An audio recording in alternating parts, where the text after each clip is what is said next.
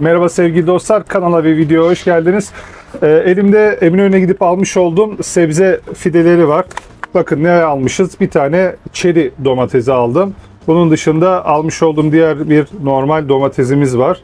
Bunun haricinde bir tane tatlı kıl biberimiz, bir tane e, kapya biber, bir tane dolmalık biber, bir tane de salatalık. 6 tane e, tohum aldım. 6 paket ve bunları toprakta buluşturdum.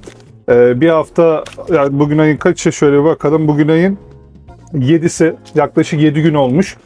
Hafif hafif hareketlenmeler var gibi gözüküyor ama onu daha sonra değerlendireceğiz. Şöyle göstereyim arkamda e, bir sera etkisi yaratacak bir sistem yaptım. Bunu daha evvel ya Bauhaus'tan ya Ikea'dan tam hatırlamıyorum demir kasasını almıştım raf sistemi. Üstüne de e, un kapan IMC'ye gidip e, şey yaptırdım. Bir PVC sistem yaptırdım. Fermuarlı rahat açıp kapatabiliyorsunuz şeklinde ve bunu gayet güzel kullanıyorum. Mesela şu anda yaklaşık 15-16 derece. Şu an buradaki derecede yaklaşık 18-19 derece yaklaşık 2-3 derece bir fark oluyor. Hatta hafif güneş geldiği zaman o fark 5 dereceye kadar çıkabiliyor yani içeriyle dışarı arasında. Çünkü şöyle söylüyor tohumlarda yaptığımız zaman yaklaşık 20 derece civarında tohum e, toprak sıcaklığının olması gerekiyor. Çok soğukta toprak kolay kolay çimlenmiyor. Normalde ne yapıyoruz biz? Ee, bir saksıda yaptığımız zaman saksının üzerine streç filmle kapatıyoruz. Bu streç filmi tek tek yapmak yerine e, tek başına bu sistemi yaptım ve hepsi e, duruyor. Mesela güneş geldikçe fark ettiyseniz burası, burası buharlanmış durumda. Buraları buharla. Arada bir açıyorum buharını e, bir şeyini alıyorum, e, havasını alıyorum. Çünkü aşırı buhar olduğu zaman da o da e, içerideki bitkilerde bu sefer bitlenme, böceklenme durumu yaratabiliyor. Ona da lütfen dikkat edin. Peki biz ne yaptık? E, viyollere, e, tohum keselerine e, bu toprakla tohumu buluşturduk. Önce bir 6-8 saat kadar bir suda beklettik. Beklettikten sonra yumuşamasını sağladık ve bundan sonra da toprakta buluşturduk. Üstünü spreyleme yaptık ve e, kasamıza attık. Orada şu anda 7. gününe geldi. Gelin isterseniz bir bakalım nasıl olmuş.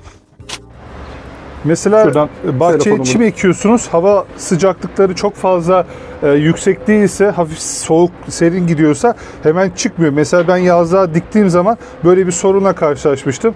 Diktiğimizde e, geçen sene Mayıs ayında hava biraz serin geçmişti mesela. Hemen çimlenmedi. Ama komşumuz Haziran ayında ekti. Bir hafta içinde çimlendi. O yüzden bu çimlenme noktası e, biraz önemli bir nokta sevgili dostlar. Bakın bu arada sümbülümü de göstereyim üzüm sümbülü muskari beyaz. Biraz sabretmemiz gerekiyor. Şu an e, ben 1 Mart e, tarihinde bunları toprakta buluşturdum ve şu anda 7 Mart ufak tefek hareketlenmeler olmakla beraber tam bir randıman şu anda gözükmüyor. İlerleyen zamanları takip edeceğiz. Şimdi mesela açtığım için hava e, şeyini burası yine 15 dereceye düştü. Mesela normalde dedim 18 derecede 15'e düştü. Mesela buraya böyle arada bir sprey, sprey yapmamız gerekiyor. Toprağa ıslatmamız lazım ki tohumumuz içeride kurumasın. Ama hava sıcaklıkları da çok fazla olmadığı için de aşırı derecede bir e, işlem yapmayalım. Bu sefer çürütmüş oluruz. Şöyle güzelce ne Zaten toprak yavaş yavaş bir zaman sonra kabarmaya başlayacak. Eğer toprak çok sertleşirse e, sevgili dostlar bu sefer içerideki tohumun çıkma durumu biraz sıkıntıya giriyor. Cılız çıktıkları için toprağa delip geçemiyorlar. O problem yaşıyor. O yüzden topraklarımızı, viyollerimizi burada bu şekilde bir şey yapmamız lazım. Kullandığınız toprak önemli, kullandığınız tohum önemli, hava sıcaklıkları önemli. Yani birkaç etken var. Onları e, değerlendirmeniz lazım. Bu sera tarzı yaptığımız zaman da üzerine streç film koyduğumuz zaman da e, arada bir açıp havalandırmamız şart. Çünkü sürekli kapatırsak dediğim gibi hem üstlerinde küflenme durumları oluşabiliyor hem de bakın ben mesela size hemen göstereyim. Ben biraz ihmal etmişim demek ki. Küflenme noktasını göstereceğim size. Bakın. Görüyor musunuz? Beyaz beyaz küf durumları oluşmuş. Bakın şurada. Toprakta.